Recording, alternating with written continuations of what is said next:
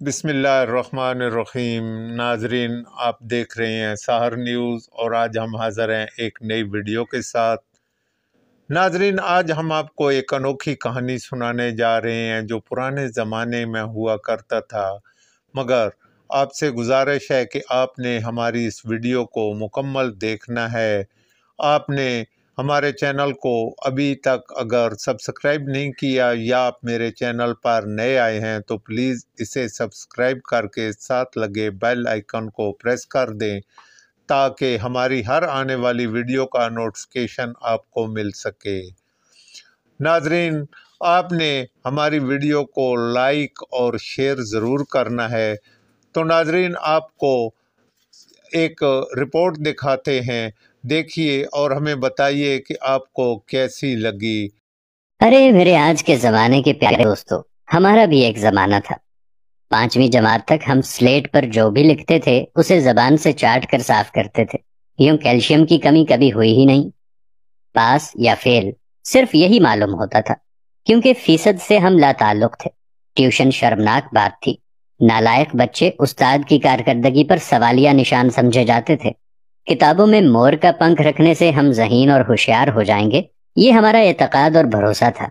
Bag में किताबें सलीके से रखना सुघड़पन और बासलाहियत होने का सबूत था। हर साल नई जमात की किताबों और कॉपियों पर कवर चढ़ाना एक सालाना तकरीब हुआ करती थी। वालदेन हमारे तालीम के तई ज़्यादा फिक्रमंद नहीं हुआ करते थे, और ना ही हमारी तालीम उन पर कोई बोझ थी। साल हर साल हमारे वालदेन हमारे स्कूल की तरफ़ रुख भी नहीं किया करते थे, क्योंकि हम में जहानत जो थी स्कूल में मार खाते हुए या मुर्गा बने हुए हमारे दरमियान कभी अना, यानी ईगो बीच में आने का सवाल ही पैदा नहीं हुआ। अना क्या होती है, ये भी मालूम नहीं था। मार खाना हमारे रोज़मर्रा ज़िंदगी की आम सी बात थी। मारने वाला और मार खाने वाला दोनों को एक दूसरे से कोई शिकायत नहीं हुआ करती थी। हम अपने वालदेन से कभी ना कह सके कि हमें उनसे कितनी मोहब्बत है। ना बाप हमें कहता था, क्योंकि आई लव यू कहना तब तक राइज नहीं था और हमें मालूम भी नहीं था।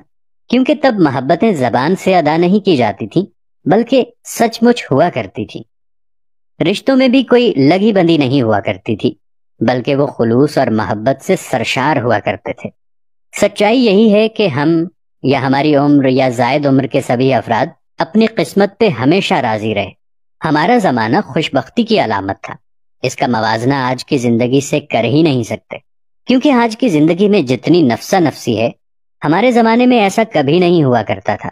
आज की ज़िंदगी में हमें अपने साथ वाले पड़ोसी तक का भी मालूम नहीं है कि हमारे साथ कौन रहता है, उसके हालात कैसे हैं, उसकी गुजर बसर कैसे होती है।